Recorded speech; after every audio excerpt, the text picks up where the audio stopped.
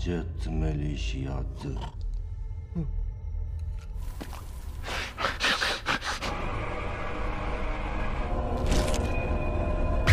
Yeah.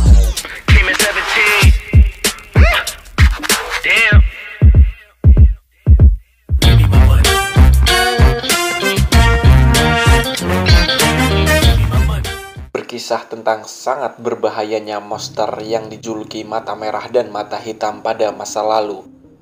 Sampai-sampai Buddha sendiri turun tangan untuk menangkap dan menyegel dua mata itu dan memisahkan mereka di bagian barat dan timur. Mata-mata itu pun dijaga oleh biksu terpilih agar tidak kembali bersatu dan menimbulkan kekacauan yang besar. Buddha yaguni varyatum rastava. Namun ada seorang profesor terkenal yang bernama Kim yang sangat percaya akan legenda itu. Bertahun-tahun ia mencari keberadaan mata itu. Dan pada suatu hari di tengah padang pasir yang terletak di perbatasan India dan Pakistan, akhirnya ia menemukan mata merah yang telah lama ia cari-cari.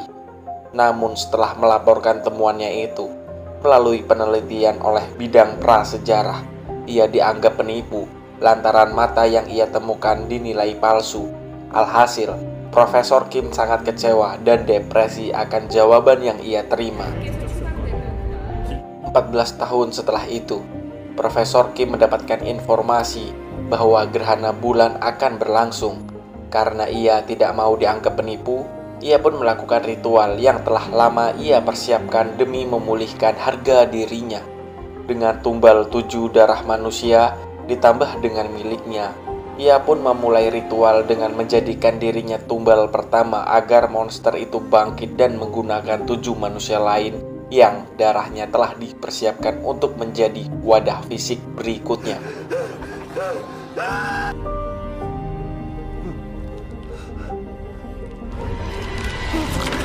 Lepasnya mata merah dari segel pun diketahui oleh Biksu Hajeong, si penjaga mata hitam, yang bertempat di kuil Buddha di bukit pedalaman hutan. Ia pun menyadari hanya tersisa 8 hari untuk mencegah mata merah agar tidak membebaskan mata hitam. Dan jika mereka bersatu, maka dunia akan terporak-poranda atas besarnya kekuatan monster itu. Pada hari pertama, terlihat biksu muda di kuil yang bernama Changsu. Ia tidak bisu, namun ia diperintahkan oleh biksu Hajeong untuk melakukan sumpah diam. Sejatinya biksu Hajeong, ia tetap manusia biasa dengan kondisi fisik yang tua dan ditambah penyakit yang ia alami. Ia pun menyusun rencana untuk mengalahkan mata merah dengan meminta bantuan Changsu. Keesokan harinya, biksu Hajeong telah wafat dengan posisi duduk tepat di samping Changsu. Changso pun teringat akan mimpinya untuk melakukan misi atas perintah Biksu Hajeong untuk menemui seorang di kota memberikan batu artefak. Ia pun memutuskan untuk pergi, namun karena ia katro karena tidak pernah ke kota sebelumnya, ia pun lengah dan batu itu pun dicuri oleh wanita misterius.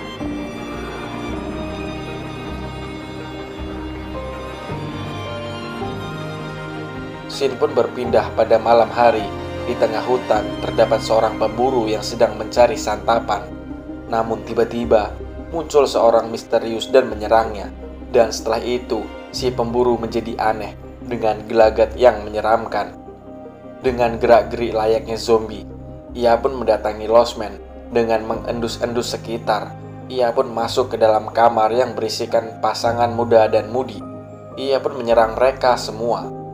Namun anehnya saat didatangi polisi yang bernama Hotai, mayat wanita tidak ditemukan. Kamar itu hanya berisi mayat si pria. Dan yang lebih anehnya lagi, mayat si pemburu itu malah mengering padahal baru tewas tadi malam. Di sisi lain, kita diperkenalkan pada Jisung, seorang yang dimaksud oleh Biksu Hajeong. Di masa ini, Jisung nampak dilema Sebelumnya ia adalah biksu yang ditugaskan untuk memberi jalan pada arwah-arwah yang gentayangan agar mendapatkan jalan ke arah ilahi. Namun ada sesuatu hal yang membuatnya vakum dari dunia rohani.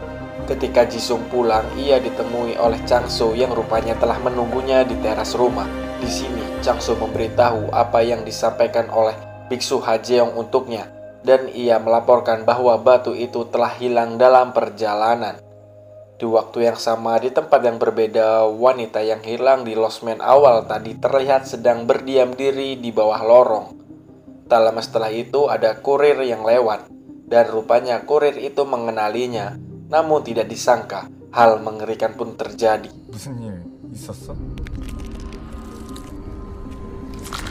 Setelah mendengar kabar ini, pihak polisi pun terkejut lantaran jasad wanita yang kemarin hilang ditemukan mengering juga dan sang kurir telah menghilang.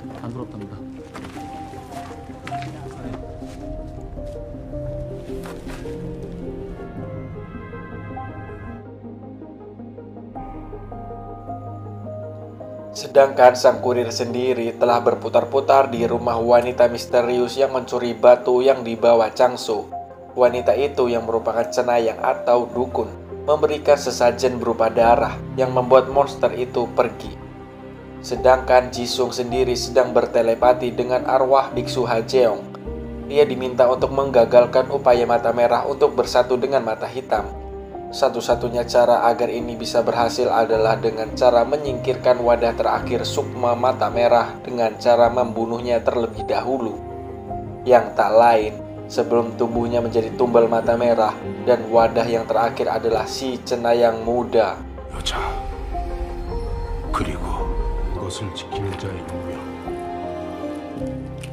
dan misi pun dimulai. Dalam perjalanan, Jisung nampak memperhatikan Changsu. Ia merasa kasihan pada bocah ini. Ia pun mengajak pergi makan dan membelikan sepatu baru. Changsu sangat bahagia dan ia pun langsung berterima kasih. Seketika itu karena keceplosan terucap, sumpah bicaranya pun gagal alias selesai. Changsu sendiri merasa sangat nyaman dan mendapatkan chemistry yang hangat.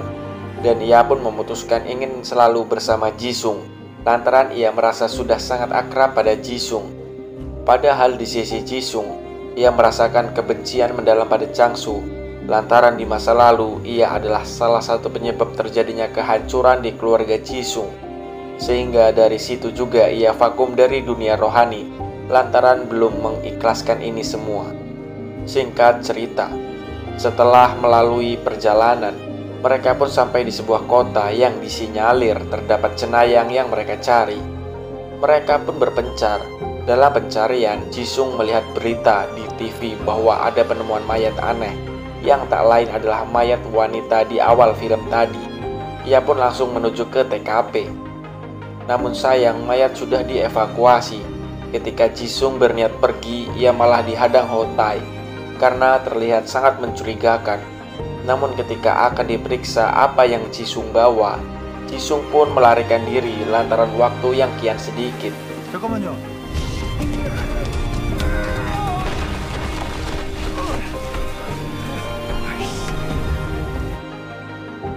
Di sisi Changsu karena cuaca sedang hujan, ia pun berniat berteduh. Dan tiba-tiba datang si cenayang itu dan mengajaknya masuk untuk berteduh di dalam rumahnya. Changsu sendiri malah tidak menyadari siapa wanita ini. Ia hanya merasa iba akan kepedulian wanita itu terhadapnya.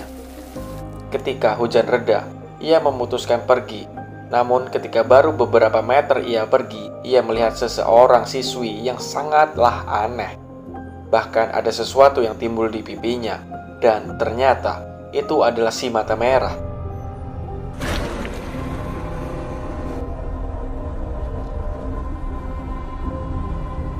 Ia pun pergi dan melaporkan temuannya kepada Jisung. Dan Jisung pun beranggapan bahwa target mereka tidak jauh dari tempat di mana Changsu melihat siswi tersebut.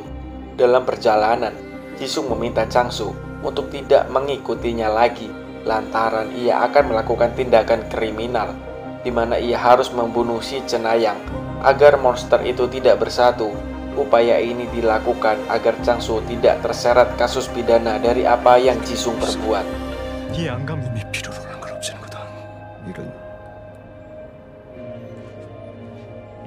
Di sisi lain, kepolisian, Hotai, dan rekannya sedang menyelidiki siapa sebenarnya Jisung dalam pencarian informasi, mereka mengetahui bahwa Jisung adalah mantan cenayang. Namun ia berhenti setelah pemberontakan yang ia lakukan di persidangan yang menangani kasus kematian keluarganya. Dan dari informasi peta Jisung yang tertinggal, mereka pun mengetahui di mana Jisung akan pergi. Di perjalanannya, Hotai diberi sebuah jimat dari rekannya yang terbuat dari tetesan darah miliknya karena beranggapan ini adalah kasus yang ada hubungannya dengan dunia lain. Ketika Hotai menyisiri jalan, ia pun melihat Jisung dan mengikutinya sembari menerima informasi dari rekannya lewat telepon. Ia pun mengetahui bahwa para mayat yang tewas adalah para anggota organisasi bunuh diri yang diketuai Profesor Kim dan yang belum mati adalah si siswi tadi dan si cenayang. Di sisi lain, ketika Jisung menemukan wanita yang dicurigai bahwa itulah cenayang yang ia cari, ia pun bersiap menjadi Algojo. Namun tiba-tiba, Hotai menggagalkan aksi tersebut. Dalam perkelahian, tiba-tiba datanglah si siswi itu dan menghempaskan Hotai hingga tak sadarkan diri. Untung saja jimat itu bereaksi dan menjaganya agar tidak diserang kembali. Ketika si iblis itu akan berpindah tubuh, ia pun menyadari bahwa wanita itu bukanlah tumbalnya, sehingga ia harus kerja keras lagi untuk mencarinya. Ini terjadi karena Changsu tidak tega lantaran ia mengetahui bahwa wanita yang memberi ia tempat berteduh adalah target si iblis. Ia pun memutuskan untuk membawa cenayang itu pergi ke kuilnya yang berada di atas bukit. Dan ketika si iblis akan mengejarnya, Jisung pun mencoba melawannya. Namun tak lama setelah itu datanglah si Dojin, rekan dari Hotai. Di sini sang iblis bermanipulasi menjadi manusia biasa yang berakting bahwa ia akan dibunuh oleh Jisung. Namun sayang, Dojin yang mencoba melindunginya malah menjadi inang selanjutnya. Pertarungan pun terjadi. Nampaknya Jisung bukanlah tandingannya. Pertarungan pun terjadi. Nampaknya Jisung bukanlah tandingannya. Untung saja Jisung tidak dibunuh. Si monster pun mengarahkan Jisung untuk pergi ke bukit karena takdir kematiannya serta fakta-fakta kehidupannya akan ia terima di atas bukit di mana tempat kuil Jisung berada. Di sisi Changsu, ia telah sampai di kaki bukit. Sembari mengobrol santai, Changsu pun mengetahui bahwa nama wanita itu adalah Haira. Mereka pun beristirahat di sebuah tempat karena terlalu lelah. Sedangkan Jisung sendiri mendapatkan pencerahan dari arwah biksu Hajeong agar ia dapat ikhlas atas kejadian masa lalunya dan berdamai dengan Changsu agar ia bisa lebih fokus dan menguasai keadaan. Tak terasa ini adalah hari terakhir untuk bisa menggagalkan iblis itu. Ia pun bergegas, namun secepat apa pun dia, sang iblislah yang lebih dahulu sampai dan membuat keributan di kuil itu.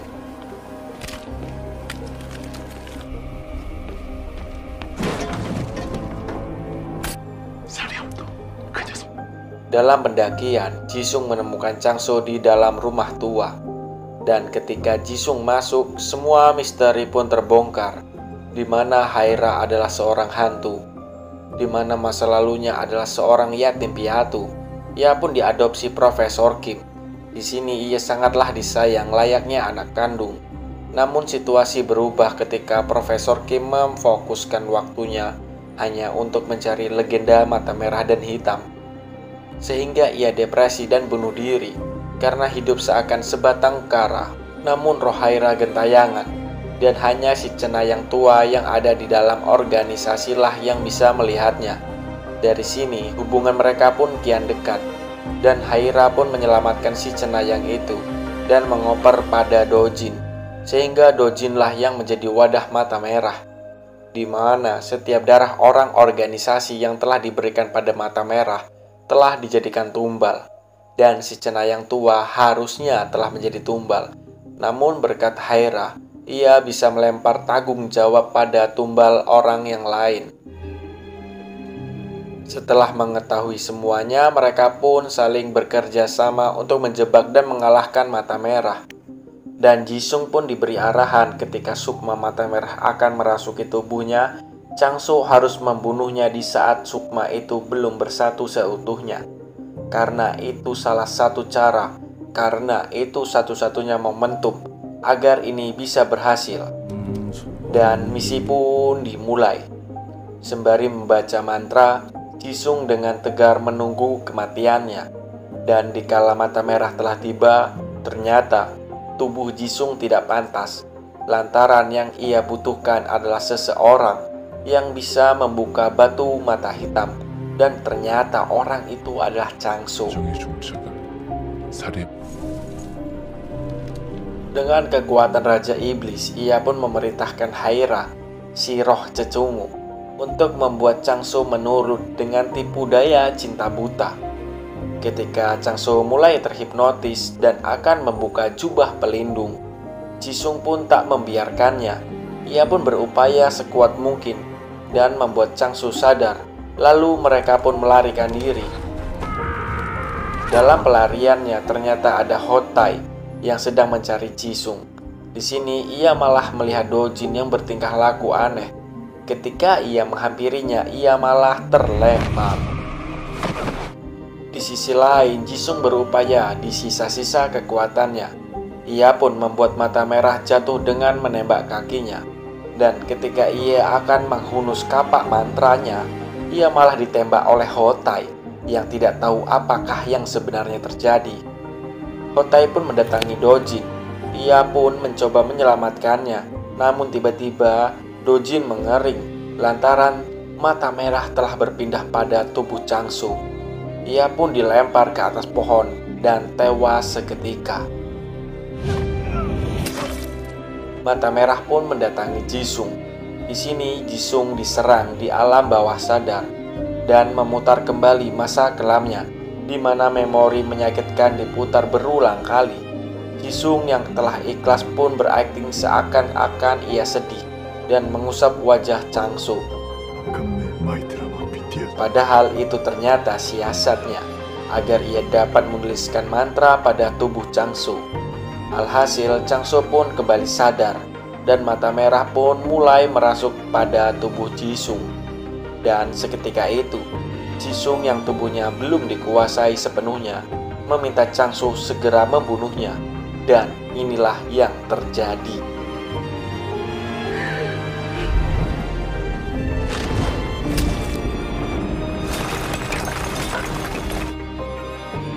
Perjuangan yang sangat-sangat berat akhirnya membuahkan keberhasilan. 너는 Di sisi akhir, Changsu yang masih hidup pun berniat mengembalikan mata merah ke tempat di mana Profesor Kui mengambilnya. Ia juga menyelamatkan Haira dari belenggu mata merah. Dan film pun selesai. Terima kasih telah menonton alur film di channel Kapan Tidur. Jika kalian terhibur, berilah channel ini dukungan dengan cara like dan subscribe. Agar channel ini makin semangat untuk mengupload alur-alur film lainnya. Kapan tidur izin pamit. Happy nice dream. Dan jangan lupa bersenang-senang.